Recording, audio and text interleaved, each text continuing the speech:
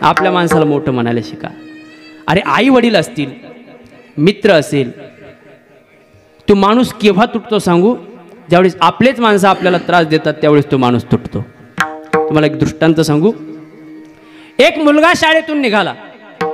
शाळेतून येत असताना त्याला वाटेमध्ये हिरा सापडला. तो हिरा घेऊन आईकडे आला आई हे बघ मला काय सापडलंय. आई नाही बघितलं अरे हा तर हिरा दिसतोय. पण आता जर मुलाला सांगितलं शब्बास बेटा हिरा सापडून आणलास हा मुलगा रोज काही ना काही घेऊन ये. म्हणून आईनं काय केलं तो हिरा खिडकीतून बाहेर फेकून दिला. त्या मुलाला ओरडायला ओरड ओरडायला लागले आहे का रे? काही पण घेऊन येतोस? काही कळतं का? काही पण आणतोस?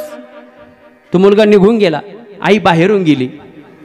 खिडकीतून फेकलेला जेव्हा हिरा होता तो उचलला आणि तोच हिरा ती सोनाराकडे घेऊन गेली. सोनार दादाला सांगितलं सोनार दादा अरे हा हिरा आणलाय याचे मला हजार रुपये तरी देशील की नाही?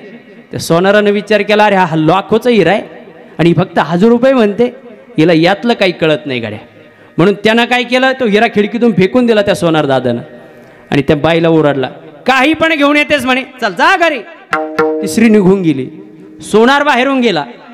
त्या सोनारानं तो हिरा उचलला आणि तोच हिरा ते रत्न पारख्याकडे घेऊन गेला. रत्न पारख्याकडे सोनार गेला. आणि सोनार दादा त्या रत्न पारखेला विचारतोय ए दादा या हिऱ्याचे मला लाख रुपये तर देशील ना रे? त्या रत्न पारख्यानं विचार केला अरे हा हिरा अब्जावधीचा दिसतोय. या सोनाराला यातली किंमत कळत नाही वाण जणू त्या रत्न पारख्यानं काय केलं? तो हिरा खिडकीतून फेकून दिला आणि त्या सोनार दादाला सांगितलं का रे? काही पण काचाचे तुकडे घेऊन येतोस पैसे मागतो जा घरी. सोनार निघून गेला. पण आता तो रत्न पारखी तो हिरा उचलण्याकरता बाहेरून आला होता. ज्या वेळेस त्यांना हिरा हातामध्ये घेतला हिरा तुटलेला होता. तुटलेला हिरा पाहून रत्न पारखी त्या हिऱ्याला म्हणतोय का रे हिऱ्या? मी तर फक्त असं ऐकलं होतं. ढेकणाच्या संगे हिरा जो भंगला कुसंगे नाडीला साधू जायचा. अरे वाईटाच्या संगतीत गेल्यावरच फुटतोस ना रे तू? मग आज कसा फुटलास? तेव्हा त्या रडणाऱ्या हिऱ्यानं उत्तर दिलं दादा त्या स्त्रीनं मला खिडकीतून फेकून दिलं वाईट वाटलं नाही. कारण तिला माझी किंमत माहीत नव्हती. त्या सोनारानंही मला खिडकीतून बाहेर फेकून दिलं.